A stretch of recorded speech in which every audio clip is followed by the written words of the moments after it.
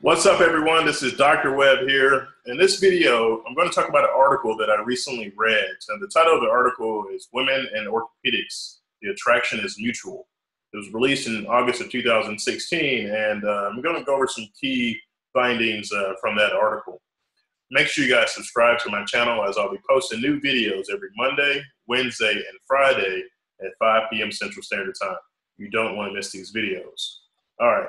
So I'm gonna pull up this um, this article. Um, it was in the American Academy of Orthopedic Surgeons uh, Journal uh, in August of 2016. The uh, title was "Women in Orthopedics: Attraction is Mutual." Uh, in 2014, women they made up half of the undergraduate students, 44% of medical students, and also 14% of orthopedic residents. Um, this article kind of uh, mentioned that over the last number of years, the number of females residents in orthopedics has increased from 67 residents in 2007 to 105. If you think about all of the number of orthopedic surgeons out there, 105 females is not, is not a lot, but um, that's a 40% increase in the last 10 years. Um, and any other surgical specialties, orthopedics has the highest percentage of women, uh, with the exception of general surgery. Uh, surgery. Um, you can see here this um, surgery team composed of all females, and that's becoming all more familiar uh, these days. Uh, the American Academy of Orthopedic Surgeons, it's our um, it's our um, professional organization, and it has 1,273 members. Uh, 270 are in training, 968 fellows, which means orthopedic surgeons who have completed their residency but they're uh, finished their subspecializing, and then you have 35 emeritus members. Um, and this is uh, constantly increasing over the uh, last number of years.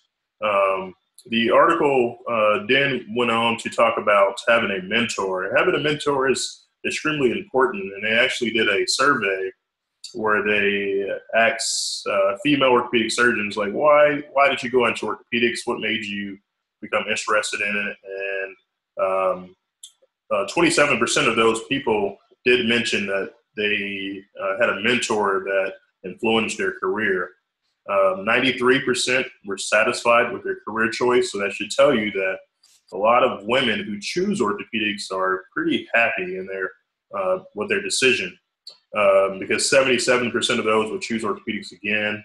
Uh, 62% had children, which is a lot. So I have a lot of people who come to me and, and they, they state that they want to have children, they want to have a family, but and they love surgery, but they're just not sure they can uh, have children. This right here tells you that the majority of them do, 62%. And 73% of them are in um, a relationship. Um, so, a word about mentoring um, for a female, you can have a male or a female. Uh, anyone that's in the field of uh, orthopedic surgery can be your mentor.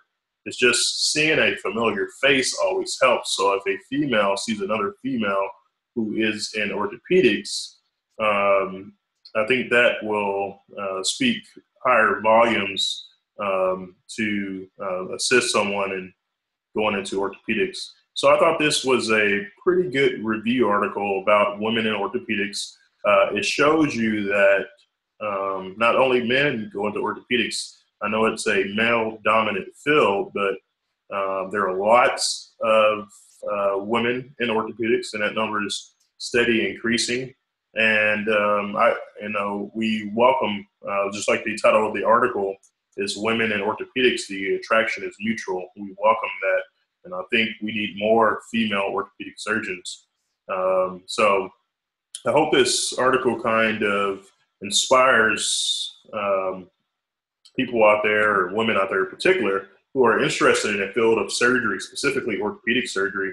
Um, I would say go for it. We need more women in orthopedics, the, the diversity uh, that it brings, and everything else that it brings to the field of orthopedics. Um, I think it's a great thing. I currently worked with about four to four to five orthopedic surgeons. One is a pediatric orthopedic surgeon, um, and then we have four female orthopedic surgeons in our residency program.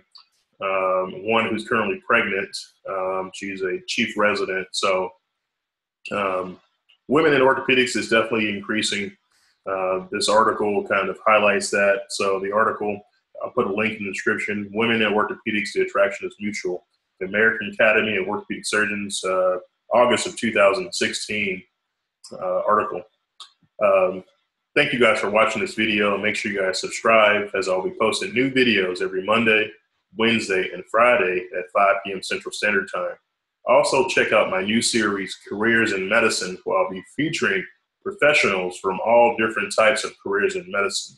Um, I'm going to have respiratory therapists, x ray technicians, radiologists, uh, firefighters, flight surgeons, plastic surgeons, pain medicine doctors, everything in medicine. I want because I realize that not everyone wants to become a doctor. So uh, there are lots of different options in medicine. I think medicine is a great field to go into. So I wanted to uh, bring that to the forefront. Thank you guys for watching this video, and we will see you next time.